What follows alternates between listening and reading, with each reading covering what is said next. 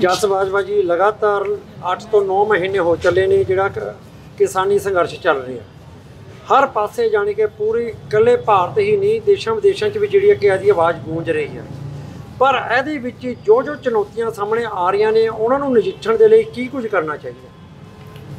ਸਭ ਤੋਂ ਪਹਿਲੀ ਤਾਂ ਗੱਲ ਇਹ ਹੈ ਕਿ ਜਿਹੜੇ ਸਥਾਨ ਤੇ ਅਸੀਂ ਖ- ਖੜੇ ਆਂ ਚੁਣੌਤੀਆਂ ਮਹਾਰਾਜ ਸਾਡੇ ਅੱਗੇ ਕਦੇ ਟਿਕਣੀ ਨਹੀਂ ਦਿੰਦਾ। ਮਹਾਰਾਜ ਆਪ ਹੀ ਕਰਦਾ ਸਭ ਕੁਝ ਧੰਨ ਧੰਨ ਜਥੇਦਾਰ ਬਾਬਾ ਹਨੂਮਾਨ ਸਿੰਘ ਜੀ। ਅਮਰ ਸ਼ਹੀਦ ਬਹੁਤ ਵੱਡਾ ਇਹ ਸਥਾਨ ਹੈ, ਬਹੁਤ ਸਿੰਘਾਂ ਸ਼ਹੀਦਾਂ ਦਾ ਸਥਾਨ ਹੈ। ਬਹੁਤ ਭਗਤੀ ਕੀਤੀ ਹੋਈ ਹੈ ਇਸ ਤਪ ਸਥਾਨ ਹੈ ਇਹ।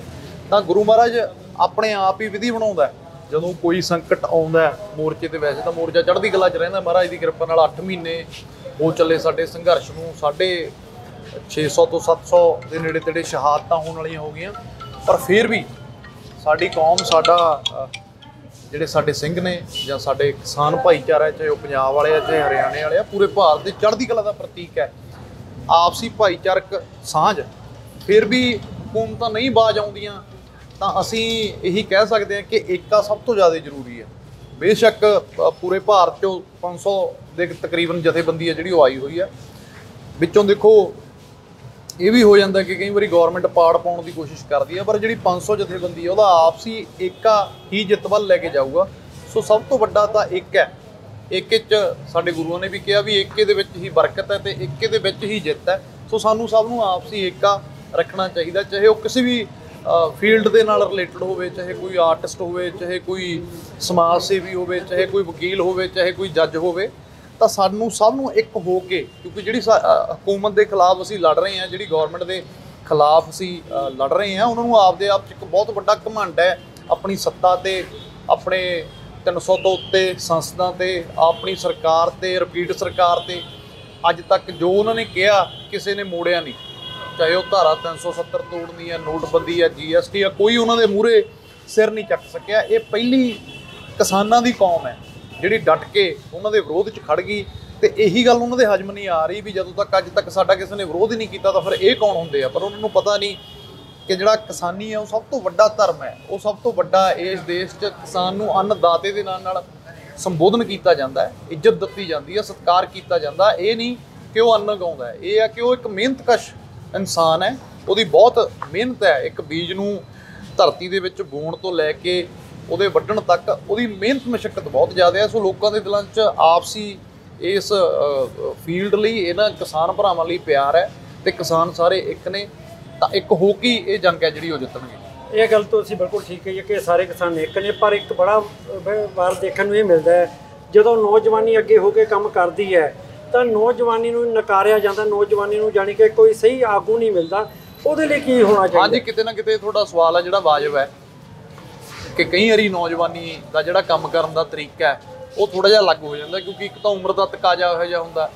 ਪਰ ਕਿਤੇ ਨਾ ਕਿਤੇ ਮੈਨੂੰ ਇਹ ਲੱਗਦਾ ਵੀ ਜਦੋਂ ਐਡੀਆਂ ਐਡੀਆਂ ਲਹਿਰਾਂ ਐਡੇ ਐਡੇ ਸੰਘਰਸ਼ ਚੱਲਦੇ ਆ, ਤਾਂ ਲਹਿਰ ਫੇਲ ਕਿੱਥੇ ਹੁੰਦੀ ਹੈ? ਜਦੋਂ ਅਸੀਂ ਚੱਲਦੀ ਲਹਿਰ ਦੇ ਵਿੱਚ, ਚੱਲਦੀ ਸੰਘਰਸ਼ ਦੇ ਵਿੱਚ ਆਪਣੇ ਆਗੂ ਬਦਲਦੀ ਹੈ, ਤਾਂ ਸਾਨੂੰ ਆਗੂ ਤਾਂ ਨਹੀਂ ਬਦਲਣੇ ਚਾਹੀਦੇ। ਆਗੂਆਂ ਨੂੰ ਵੀ ਇਹ ਚਾਹੀਦਾ ਕਿ ਨੌਜਵਾਨੀ ਨੂੰ ਦੇਖਦੇ ਹੋਏ ਕਿ ਜਿਹੜੇ, ਜਿਹੜਾ ਉਹਨਾਂ ਦਾ ਸਟਾਈਲ ਹੈ ਕੰਮ ਕਰਨ ਦਾ, ਅਸੀਂ ਉਹਨਾਂ ਦੇ ਨਾਲ ਵੀ ਚੱਲੀਏ ਤੇ ਨੌਜਵਾਨੀ ਨੂੰ ਵੀ ਇਹ ਚਾਹੀਦਾ ਕਿ ਥੋੜੀ ਜੀ ਗੱਲ ਅਸੀਂ ਆਪਣੀ ਵੀ ਰੱਖੀਏ ਤੇ ਥੋੜੀ ਜੀ ਗੱਲ ਅਸੀਂ ਆਪਦੇ ਆਗੂਆਂ ਦੀ ਵੀ ਸੁਣੀਏ। ਇੱਕ ਤਾਲਮੇਲ ਬਣਾ ਕੇ ਚੱਲਣਾ ਅੱਜ ਦੀ ਡੇਟ ਦੀ ਜਿਹੜੀ ਸਭ ਤੋਂ ਵੱਡੀ ਲੋੜ ਹੈ ਸਮੇਂ ਦੀ ਉਹ ਹੈ, ਕਿਉਂਕਿ ਉਹਨਾਂ ਕੋਲ ਤਜਰਬਾ ਬਹੁਤ ਹੈ। ਸਾਡੇ ਕੋਲ ਜੋਸ਼ ਬਹੁਤ ਹੈ ਬੈਰੀਕੇਡ ਪੱਟਣ ਦਾ। ਚਾਹੇ ਉਹ ਫਿਰ ਗੱਡੀ ਆਰਮੀ ਸਾਡੇ ਮੂਰੇ ਆ ਕੇ ਬੈਰੀਕੇਡ ਲਾ ਦੇਵੇ ਖੜ ਨਹੀਂ ਸਕਦੀ। ਅਸੀਂ ਉਹਦਾ ਰਿਜ਼ਲਟ ਐਕਸਪਲੇਨ ਕਰ ਚੁੱਕੇ ਹਾਂ ਬਹੁਤ ਵਾਰੀ। ਪੰਜਾਬ ਤੋਂ ਦਿੱਲੀ ਦੀਆਂ ਸਰਹੱਦਾਂ ਤੱਕ ਨੌਜਵਾਨੀ ਨੇ ਜਵਾਬ ਦੇ ਚੁੱਕੀ ਹੈ ਬਹੁਤ ਵਾਰੀ। ਸੋ ਹੁਣ ਆਗੂਆਂ ਨੂੰ ਇਹ ਸਮਝਣਾ ਚਾਹੀਦਾ ਕਿ ਨੌਜਵਾਨੀ ਤੋਂ ਬਿਨਾ ਅਸੀਂ ਇਹ ਸੰਘਰਸ਼ ਹੈ ਜਿਹੜਾ ਨਹੀਂ ਜਿੱਤ ਸਕਦੇ। ਨਾਲ ਬਣਦਾ ਮਾਣ ਸਤਿਕਾਰ ਇੱਜ਼ਤ ਦੇ ਕੇ ਨਾਲ ਨੌਜਵਾਨੀ ਨੂੰ ਆਪਣੇ ਲੈ ਕੇ ਚੱਲਣਾ ਚਾਹੀਦਾ। ਦੋਵਾਂ ਨੂੰ ਤਾਲਮੇਲ ਬਣਾ ਕੇ ਚੱਲਣਾ ਚਾਹੀਦਾ। ਅਹ ਜਸਵੰਤ ਵੀ ਦੇਖਣ ਵਾਲੀ ਗੱਲ ਹੈ ਕਿ ਆਪ ਮੁਹਾਰੇ ਲੋਕ ਇਸ ਧਰਨਿਆਂ ਦੇ ਵਿੱਚ ਪਹੁੰਚ ਰਹੇ ਨੇ ਸੰਘਰਸ਼ ਨੂੰ ਮਜ਼ਬੂਤ ਕੀਤਾ ਜਾ ਰਿਹਾ ਪਰ ਇਸ ਦੇ ਨਾਲ ਦੂਜੇ ਪਾਸੇ ਜਿਹੜੇ ਸਿਆਸੀ ਲੋਕ ਨੇ ਉਹਨਾਂ ਦੇ ਬਾਰੇ ਤੁਸੀਂ ਕੀ ਵਿਚਾਰ ਰੱਖਦੇ ਹੋ? ਸਿਆਸੀ ਲੋਕਾਂ ਦਾ ਤਾਂ ਹੁਣ ਔਖਾ ਹੈ ਜੀ ਕੁੱਲ ਮਿਲਾ ਕੇ। ਲੋਕ ਨੇ ਜਿਹੜੇ ਬਹੁਤ ਵੱਡੇ ਪੱਧਰ ਤੇ ਲੋਕਾਂ 'ਚ ਅਵੇਅਰਨੈਸ ਆਈ ਹੈ, ਜਾਗਰਤੀ ਆਈ ਹੈ, ਲੋਕ ਸਵਾਲ ਕਰਦੇ ਆ, ਤੁਸੀਂ ਦੇਖ ਹੀ ਲਿਆ ਕਿ ਪਿੰਡਾਂ 'ਚ ਲੀਡਰਾਂ ਨੂੰ ਹੁਣ ਪੜਨ ਨਹੀਂ ਦਿੱਤਾ ਜਾ ਰਿਹਾ। ਸੋ ਇਹੀ ਬਹੁਤ ਵੱਡੀ ਖੁਸ਼ੀ ਦੀ ਗੱਲ ਹੈ ਕਿ ਸਾਡੇ ਜਿਹੜੇ ਨੌਜਵਾਨਾਂ ਨੂੰ ਪਹਿਲਾਂ ਪਤਾ ਹੀ ਨਹੀਂ ਸੀ ਕਿ ਵੋਟਾਂ ਕੀ ਨੇ, ਵੋਟਾਂ ਤੋਂ ਕੀ ਲੈਣਾ ਦੇਣਾ ਐਮਐਲਏ ਤੋਂ ਕਿਹੜਾ ਸਵਾਲ ਕਰਨਾ ਹੈ। ਅੱਜ ਇਸ ਅੰਦੋਲਨ ਨੇ ਐਡੀ ਵੱਡੀ ਤਬਦੀਲੀ ਲੈ ਕੇ ਆਂਦੀ ਹੈ ਕਿ ਨੌਜਵਾਨ ਪਿੰਡਾਂ 'ਚ ਇਹ ਸਵਾਲ ਕਰਦੇ ਆ ਕਿ ਤੁਸੀਂ ਸਾਡੇ ਲਈ ਇੰਨੇ ਸਾਲ ਪਿੱਛੇ ਕੀ ਕੀਤਾ, ਹਿਸਾਬ ਮੰਗਦੇ ਆ। ਸੋ ਮੈਨੂੰ ਲੱਗਦਾ ਕਿ ਜਿੰਨੇ ਵੀ ਕਿਸਾਨੀ ਸੰਘਰਸ਼ ਦੇ ਵਿੱਚ ਨੌਜਵਾਨ ਵੱਡੇ ਪੱਧਰ ਤੇ ਅੱਗੇ ਨਿਕਲ ਕੇ ਆਏ ਆ, ਨਾਲ ਦੀ ਨਾਲ ਇਹਨਾਂ ਨੂੰ ਸਿਆਸਤ ਦੀ ਵੀ ਸਮਝ ਆਈ ਹੈ ਤੇ ਇਹਨਾਂ ਨੂੰ ਸਿਆਸਤ 'ਚ ਅੱਗੇ ਰੁਚੀ ਵੀ ਲੈਣੀ ਚਾਹੀਦੀ ਹੈ ਇੰਟਰਸਟ ਲੈਣਾ ਚਾਹੀਦਾ। ਪਿੰਡੂ ਲੈਵਲ ਦੀ ਜਾਂ ਪੰਚਾਇਤੀ ਲੈਵਲ ਦੀ ਜਿਹੜੀ ਸਿਆਸਤ ਹੈ, ਪਿੰਡ ਪੱਧਰ ਤੇ ਪੰਜ ਪੰਜ ਪਿੰਡਾਂ ਦੀਆਂ ਜਥੇਬੰਦੀਆਂ ਬਣਾ ਕੇ ਆਪਦੇ ਆਪਦੇ ਹਲਕੇ 'ਚ ਆਪਦੇ ਐਮਐਲਏ ਨੂੰ ਸਵਾਲ ਜਿਵੇਂ ਹੁਣ ਅਸੀਂ ਇੱਥੇ ਇਕੱਠ ਕਰਦੇ ਹਾਂ ਸਰਕਾਰ ਦੇ ਖਿਲਾਫ ਐਦਾਂ ਹੀ ਪੰਜ ਪੰਜ ਪਿੰਡਾਂ ਦੀ ਜਿਹੜੀ ਪੰਚਾਇਤ ਆ, ਉਹਨੂੰ ਆਪਸੀ ਏਕਾ ਕਰਕੇ ਐਮਐਲਏ ਦੇ ਖਿਲਾਫ ਐਦਾਂ ਦੀਆਂ ਜਥੇਬੰਦੀਆਂ ਬਣਾਉਣੀਆਂ ਚਾਹੀਦੀਆਂ ਨੇ, ਜਿਹੜੀਆਂ ਟਾਈਮ ਟਾਈਮ ਤੇ ਉਹਦੇ ਤੋਂ ਹਿਸਾਬ ਕਿਤਾਬ ਮੰਗਣ। ਸਿਆਸਤ ਦੇ ਵਿੱਚ ਹੈ, ਸਿੱਧੇ ਸ਼ਬਦਾਂ 'ਚ ਜੇ ਮੈਂ ਕਹਾਂ, ਨੌਜਵਾਨੀ ਨੂੰ ਵੱਡੇ ਪੱਧਰ 'ਚ ਸਿਆਸਤ ਨੂੰ ਸਮਝਣਾ ਵੀ ਚਾਹੀਦਾ ਤੇ ਸਿਆਸਤ ਦੇ ਵਿੱਚ ਇੰਟਰਸਟ ਵੀ ਲੈਣਾ ਚਾਹੀਦਾ। ਤੇ ਜਸਪਾਲ ਜੀ ਇਸੇ ਨਾਲ ਇੱਕ ਬੜਾ ਵੱਡਾ ਸਵਾਲ ਹੈ ਕਿ ਪੰਜਾਬ ਦੇ ਵਿੱਚ ਤੇ ਹੋਰ ਵੀ ਕਈ ਥਾਵਾਂ ਤੇ ਸ੍ਰੀ ਗੁਰੂ ਗ੍ਰੰਥ ਸਾਹਿਬ ਦੀਆਂ ਬਹੁਤ ਵੱਡੇ ਪੱਧਰ ਤੇ ਬੇਅਦਬੀਆਂ ਕੀਤੀਆਂ ਗਈਆਂ, ਜਿਹਦੇ ਵਿੱਚ ਹਰ ਸਿੱਖ ਸੰਗਤ ਦੇ ਵਿੱਚ ਜਿਹੜਾ ਕਿ ਬੜਾ ਰੋਸ਼ ਪਾਇਆ ਜਾ ਰਿਹਾ ਤੇ ਜਦੋਂ ਕੈਪਟਨ ਸਰਕਾਰ ਆਈ ਸੀਗੀ ਪੰਜਾਬ ਦੇ ਵਿੱਚ ਤੇ ਉਹਨੇ ਆਉਂਦੇ ਕਿਹਾ ਸੀਗਾ ਵੀ ਮੈਂ ਜਿਹੜਾ ਕਿ ਇਨਸਾਫ ਦਵਾਵਾਂਗੇ, ਨਸ਼ੇ ਖਤਮ ਕਰਾਂਗੇ ਪੰਜਾਬ ਚੋਂ। 4.5 ਸਾਲ ਦਾ ਸਮਾਂ ਲੰਘ ਗਿਆ। ਤੇ ਹੁਣ ਜਿਹੜੇ ਆ ਕਿ ਨਵਜੋਤ ਸਿੰਘ ਸਿੱਧੂ ਕਾਂਗਰਸ ਪਾਰਟੀ ਪੰਜਾਬ ਦੇ ਪ੍ਰਧਾਨ ਬਣੇ ਨੇ।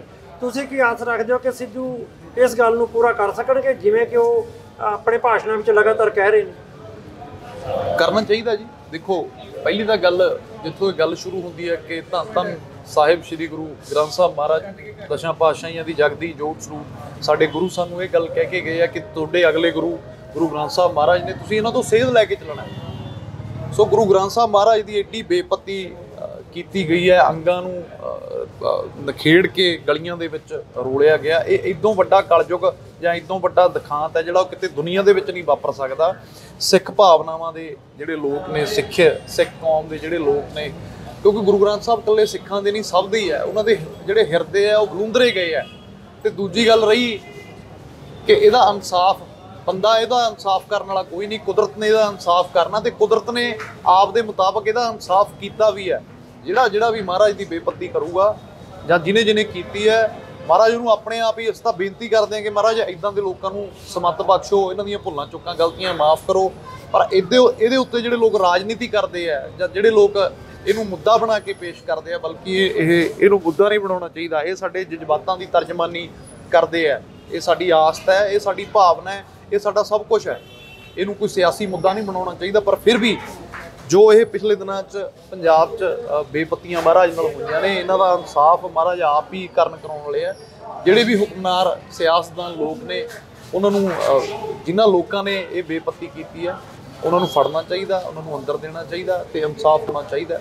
ਅਸੀਂ ਤਾਂ ਇਹੀ ਬੇਨਤੀ ਕਰਾਂਗੇ ਜੀ। ਤੇ ਸੰਘਰਸ਼ ਦੀ ਗੱਲ ਕਰੀਏ ਕਿ ਨਵਜੋਤ ਸਿੰਘ ਸਿੱਧੂ ਨੇ ਆਉਂਦੇ ਹੀ ਕਿਹਾ ਸੀਗਾ ਕਿ ਪਿਆਸਾ ਖੂਹ ਦੇ ਕੋਲ ਜਾਂਦਾ ਹੈ ਖੂਹ ਪਿਆਸੇ ਕੋਲ ਨਹੀਂ ਜਾਂਦਾ ਤੇ ਉਸ ਤੋਂ ਬਾਅਦ ਜਿਹੜਾ ਕਿ ਜਦੋਂ ਵਿਰੋਧ ਹੋਇਆ ਤੇ ਜਿਹੜਾ ਕਿ ਨਵਜੋਤ ਸਿੰਘ ਸਿੱਧੂ ਨੇ ਆਪਣੇ ਬਿਆਨਾਂ ਨੂੰ ਬਦਲਿਆ ਤੇ ਫਿਰ ਇਹ ਵੀ ਕਿਹਾ ਕਿ ਨੰਗੇ ਪੈਰੀਂ ਆਵਾਂਗਾ। ਸੋ ਇਦਾਂ ਦੀਆਂ ਬਿਆਨਬਾਜ਼ੀਆਂ ਦਾ ਕੀ ਅਸਰ ਹੁੰਦਾ? ਦੇਖੋ ਜੀ ਮੈਂ ਮੈਨੂੰ ਲੱਗਦਾ ਕਿ ਮੈਂ ਕੋਈ ਕਿਸੇ ਦਾ ਸਮਰਥਕ ਨਹੀਂ ਹੈਗਾ। ਜਦੋਂ ਐਡਾ ਵੱਡਾ ਇੱਕ ਸੰਘਰਸ਼ ਵੱਢਿਆ ਗਿਆ ਹੋਵੇ, ਤਾਂ ਸ਼ਬਦਾਂ ਦੀ ਜਿਹੜੀ ਹੇਰਫੇਰ ਹੈ, ਉਹ ਹੋ ਸਕਦੀ ਹੈ। ਉਹਨਾਂ ਦਾ ਮੈਨੂੰ ਇਹ ਲੱਗਦਾ ਪਰਸਨਲ ਤੌਰ ਤੇ ਮੈਨੂੰ ਇਹ ਲੱਗਦਾ ਕਿ ਸ਼ਾਇਦ ਉਹਨਾਂ ਦੀ ਉਹ ਭਾਵਨਾ ਇਹ ਗੱਲ ਕਹਿਣ ਦੀ ਨਹੀਂ ਸੀ। ਉਹਨਾਂ ਨੇ ਪਿਆਸਾ ਆਪਦੇ ਆਪ ਨੂੰ ਕਿਹਾ ਕਿ ਪਿਆਸਾ ਖੂਹ ਕੋਲ ਜਾਂਦਾ ਤੇ ਖੂਹ ਕਿਸਾਨਾਂ ਨੂੰ ਕਿਹਾ ਕਿ ਕਿਸਾਨ ਹੈ, ਸਾਨੂੰ ਉੱਥੇ ਜਾਣਾ ਪੈਣਾ। ਉਹਨਾਂ ਨੇ ਕਿਹਾ, ਨੰਗੇ ਪੈਰੀ ਮੈਂ ਜਾਊਂਗਾ। ਤਾਂ ਮੈਨੂੰ ਇਹ ਲੱਗਦਾ ਕਿ ਸਰਕਾਰਾਂ ਕਿਹਦੇ ਨਾਲ ਚੱਲਣਗੀਆਂ? ਸਰਕਾਰਾਂ ਰਾਜਨੀਤੀ ਕਿਹਦੇ ਤੇ ਹੋਊਗੀ? ਕਿਸਾਨਾਂ ਤੇ ਹੋਊਗੀ? ਇੱਕ ਵੱਡਾ ਸਾਡਾ ਜਿਹੜਾ ਕਿਸਾਨੀ ਪ੍ਰਧਾਨ ਸੂਬਾ ਹੈ। ਤਾਂ ਪਹਿਲਾਂ ਸਾਰੀਆਂ ਰਾਜਨੀਤੀਆਂ ਛੱਡ ਕੇ ਕਿਸਾਨਾਂ ਦੇ ਨਾਲ ਮੈਂ ਤਾਂ ਬਹੁਤ ਚਿਰ ਦਾ ਕਹਿਣਾ ਹੁੰਦਾ ਕਿ ਜਿੰਨੀਆਂ ਵੀ ਜਨਤਕ ਪਾਰਟੀਆਂ ਨੇ, ਜਿੰਨੀਆਂ ਵੀ ਇਹ ਸਿਆਸੀ ਪਾਰਟੀਆਂ ਨੇ, ਉਹਨਾਂ ਨੂੰ ਪਹਿਲਾਂ ਕਿਸਾਨੀ ਦੇ ਨਾਲ ਖੜਨਾ ਚਾਹੀਦਾ ਇਹ ਤਿੰਨ ਕਾਲੇ ਕਾਨੂੰਨ ਰੱਦ ਕਰਾਉਣੇ ਚਾਹੀਦੇ ਆ ਫਿਰ ਲੋਕਾਂ ਨੇ ਆਪ- ਜਿਹੜੀ ਵੀ ਪਾਰਟੀ ਜਾ ਕੇ ਕਿਸਾਨਾਂ ਦੇ ਨਾਲ ਕੋਰੀ ਚਿੱਟੀ ਹੋ ਕੇ ਖੜ ਗਈ ਤਾਂ ਲੋਕਾਂ ਨੇ ਆਪਣੇ ਆਪ ਹੀ ਆਪਦਾ ਜਿਹੜਾ ਫੈਸਲਾ ਆਉਣ ਵਾਲੇ ਦਿਨਾਂ 'ਚ ਸੁਣਾ ਦੇਣਾ। ਤਾਂ ਪਾਰਟੀਬਾਜ਼ੀ ਤੋਂ ਉੱਤੇ ਉੱਠ ਕੇ, ਅੱਜ ਲੋਕਾਂ ਨੂੰ ਵੀ ਮੈਂ ਇਹੀ ਬੇਨਤੀ ਕਰਦਾ ਕਿ ਪਾਰਟੀਬਾਜ਼ੀ ਤੋਂ ਉੱਤੇ ਉੱਠ ਕੇ, ਹਾਂ, ਹੋ ਸਕਦਾ ਕਿ ਕਿਸੇ ਦੇ ਕਹਿਣ ਦੀ ਭਾਵਨਾ ਸ਼ਬਦ ਇੱਧਰ, ਉੱਧਰ ਹੋ ਗਏ ਤਾਂ ਸਾਨੂੰ ਇਹਨੂੰ ਉਸ ਲੈਵਲ ਦਾ ਮੁੱਦਾ ਨਹੀਂ ਬਣਾਉਣਾ ਚਾਹੀਦਾ। ਮੈਨੂੰ ਪਰਸਨਲ ਤੌਰ ਤੇ ਲੱਗਦਾ, ਬਾਕੀ ਉਹਨਾਂ ਨੂੰ, ਉਹਨਾਂ ਦਾ ਮੈਨੂੰ ਨਹੀਂ ਪਤਾ ਉਹ ਕੀ ਕਹਿਣਾ ਚਾਹੁੰਦੇ ਸੀ। ਮੈਨੂੰ ਇਹ ਲੱਗਦਾ ਕਿ ਉਹਨਾਂ ਨੇ ਇਹ ਗੱਲ ਕਹੀ ਹੋਊਗੀ ਕਿ ਜਿਹੜੇ ਖੂਹ ਨੇ, ਉਹ ਕਿਸਾਨ ਨੇ ਤੇ ਪਿਆਸਾ, ਉਹ ਉਹਦੇ ਕੋਲ ਜਾਣ ਨੂੰ, ਉਹਨਾਂ ਨੇ ਕਿਹਾ ਕਿ ਮੈਂ ਕਿਸਾਨਾਂ ਕੋਲ ਜਾਣ ਨੂੰ ਤਿਆਰ ਹਾਂ। ਤਾਂ ਜਾਣਾ ਚਾਹੀਦਾ ਮੈਨੂੰ ਲੱਗਦਾ ਇਹ ਚੰਗੀ ਗੱਲ ਹੈ।